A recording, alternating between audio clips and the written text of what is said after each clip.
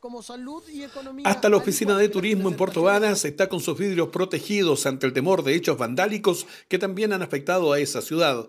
Lo ocurrido ocasiona inquietud por las repercusiones que se podrían generar para la época de mayor auge turístico, área de la cual depende más de un 50% la comuna. De hecho, ya existen muchas reservas que últimamente se están cancelando en distintos niveles y la industria turística, hotelería, servicios, varios guías, transporte, están viendo cómo se están cancelando día a día sus reservas.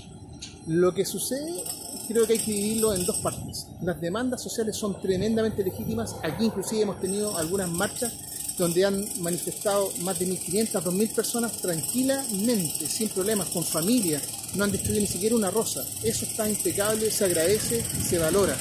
Eso es lo que de alguna manera creo que es lo que hay que rescatar y valorar.